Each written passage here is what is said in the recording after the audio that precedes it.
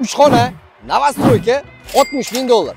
Joylashgan joyimiz kelesda turibmiz oxun masjididan keles mostiga qarab yurganinglarda birinchi mostdan o'tganinglarda mana shu novostroyka domi 9 qavatda joylashgan.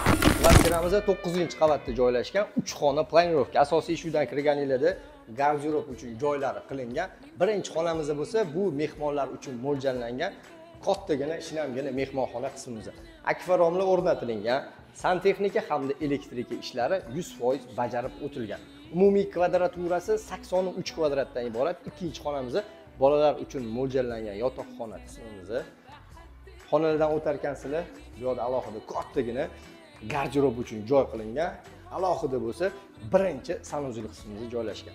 Ayollar semli xonasi oshxonasi va oshxonamizdan balkon qismiga o'tsanglar ham bo'ladi. Mebellar uchun ozgina bo'lsa ham sharoitlari qilib qo'yilgan.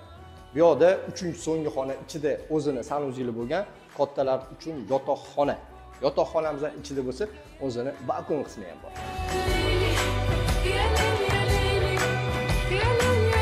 Bitonka hasanboydan kelesga kelish keles mostini oldida joylashgan novostroyka dom to'qqizinchi qavat uch xona planirovka har doimgidek pastki joy egasi raqamini qoldirib o'tamiz. Bozor plyus kanal nomidan murojaat qilib baraka qilasizlar